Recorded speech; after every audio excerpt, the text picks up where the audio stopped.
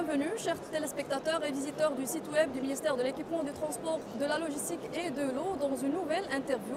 La Web TV du ministère est présente aujourd'hui pour couvrir les travaux de la cinquième édition du Salon international du bâtiment et travaux euh, publics. Et nous avons l'honneur aujourd'hui euh, d'avoir comme invité dans le plateau de la Web TV Madame Zine Belmoussa, la directrice des équipements publics du ministère. Euh, bienvenue Madame. Et merci, d'avoir répondu à notre invitation. Merci, mademoiselle Kadmeri, merci. Merci, madame. Donc, toute première question, on, connaît que la DEP est une direction qui a une longue expérience de plus de 30 ans dans le domaine de la maîtrise d'ouvrage délégué. Et quand on parle de maîtrise d'ouvrage délégué, on parle de BTP. Donc comment la DEP contribue à l'encadrement des différents intervenants de ce secteur vital quand même pour euh, le Maroc? Merci mademoiselle euh, et merci encore une fois pour euh, l'invitation.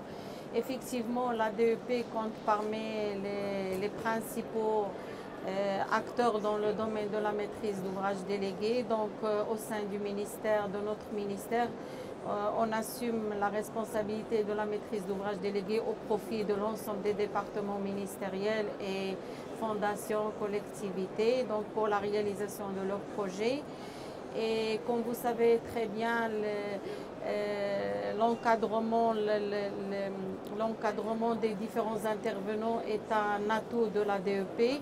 En effet, la DEP est, forte et, sa force provient euh, euh, principalement de ses moyens humains. Donc on compte parmi nous des, architectes, des ingénieurs, des techniciens, des maîtres qui ont une très grande expérience ce qui nous permet donc d'accompagner l'ensemble des intervenants le long du processus de construction. D'accord, donc vous les accompagnez tout au long de la réalisation des projets? Exact, depuis l'idée du projet, depuis la naissance du projet jusqu'à euh, jusqu'à les, réceptions et la livraison des projets. Donc on commence par euh, accompagner bien sûr le maître d'ouvrage dans la définition de ses besoins. Mhm. Euh, et pour cadrer, pour cadrer ce qu'il veut réaliser, euh, euh, faire l'adéquation entre, entre ce qu'il veut réaliser et les capacités de ses, de ses budgets. Après vient une, une étape qui est très importante, c'est la bonne définition des missions de chaque intervenant.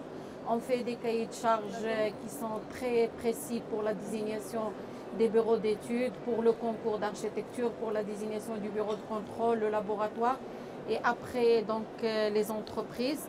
Euh, donc chaque intervenant il a sa mission bien claire, euh, bien claire et ça on, on estime que c'est la meilleure manière d'encadrer l'acte de bâtir depuis, depuis, la, depuis que le maître d'ouvrage ait exprimé son besoin jusqu'à la, livraison du projet.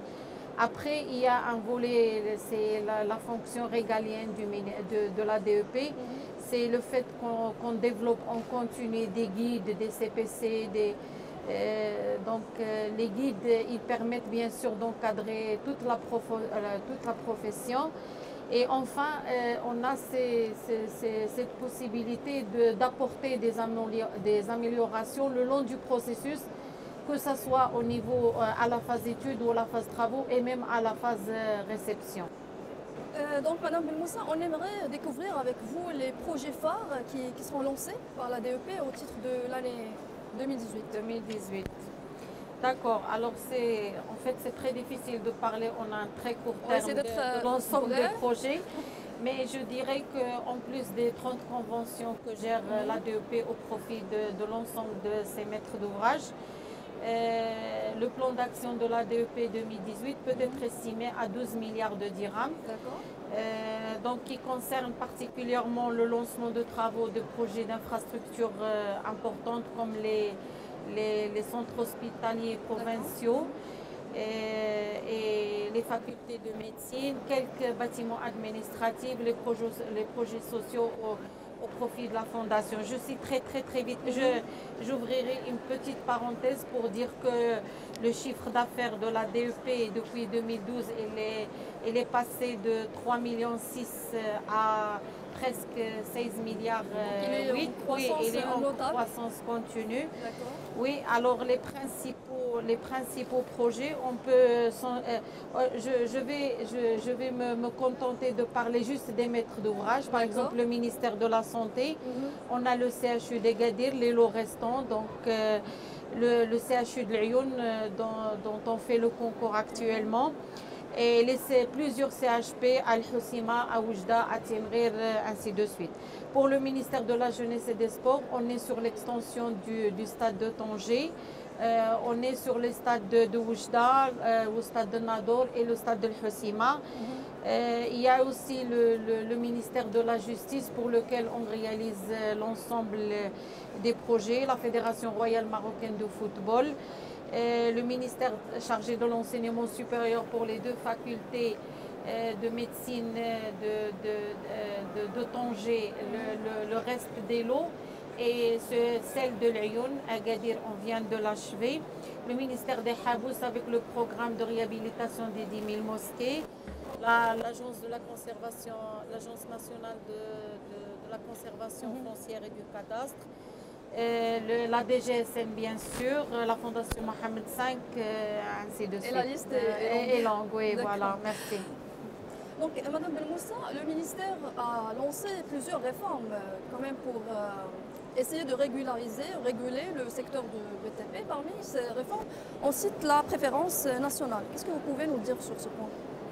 Oui, c'est une réforme qui est très importante et bien sûr la DEP s'inscrit entièrement dans les réformes du ministère. Euh, et par conséquent, donc, euh, dans tous nos marchés, on, a, on impose cette préférence nationale, c'est-à-dire quand, quand, on veut lancer un appel d'offres, obligatoirement dans nos règlements de consultation, que ce soit au niveau des études ou au niveau des travaux, on inscrit un article qui dit que euh, toutes les offres euh, étrangères seront majorées de 15% dans le dépouillement des offres financières. Donc, on peut dire que la présence ou la part de l'entreprise marocaine elle est assez satisfaisante pour les marchés Tout à fait, publics. tout à fait. Vous le confirmez Oui, tout à fait. D'accord.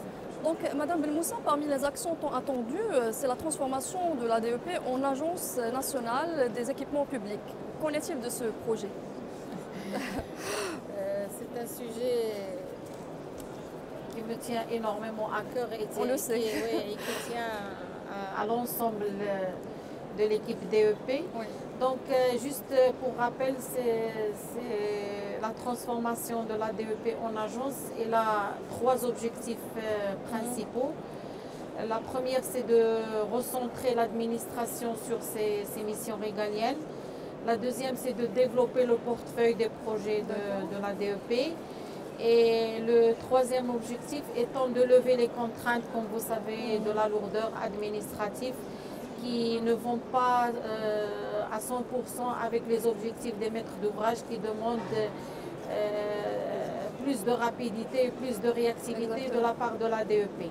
Euh, très très brièvement, donc l'avancement du projet de l'agence, comme tout le monde, comme, comme, vous savez, tout le monde le sait d'ailleurs, c'est qu'un projet de loi portant création de l'agence a été validé par OSGG et par le ministère des Finances. Et il est passé, oui, récemment, il a, il a fait l'objet d'un examen au Conseil du gouvernement du 9 novembre et, et j'espère qu'il va aboutir. Merci. On l'espère euh, Merci beaucoup. mais merci on vous remercie beaucoup. infiniment, Madame Moussa, d'avoir répondu à toutes nos questions.